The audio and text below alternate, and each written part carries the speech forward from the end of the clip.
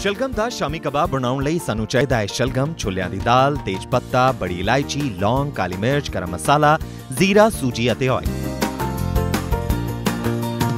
PAN ਵਿੱਚ ਪਾਣੀ ਪਾ ਕੇ ਉਸ ਵਿੱਚ ਤੇਜ ਪੱਤਾ, ਦੋ ਬੜੀ ਇਲਾਇਚੀ, ਲੌਂਗ, ਕਾਲੀ ਮਿਰਚ, ਫਲੇਵਰਡ ਮਸਾਲਾ ਅਤੇ ਦਾਲ ਪਾ ਕੇ 10 ਮਿੰਟ ਲਈ ਬੋਇਲ ਕਰੋ।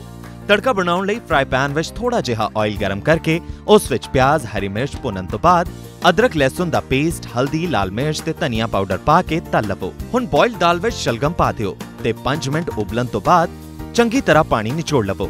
ਤਿਆਰ ਮਸਾਲਾ ਤੇ ਬੋਇਲਡ ਦਾਲ ਨੂੰ ਹਲਕਾ ਬਲੈਂਡ ਕਰੋ ਤੇ ਸਵਾਦ ਅਨੁਸਾਰ ਨਮਕ ਪਾ ਕੇ ਮਿਕਸ ਕਰੋ। ਹੁਣ ਹੱਥਾਂ ਤੇ ਸੂਜੀ ਲਾ ਕੇ ਟਿੱਕੀ ਬਣਾਓ।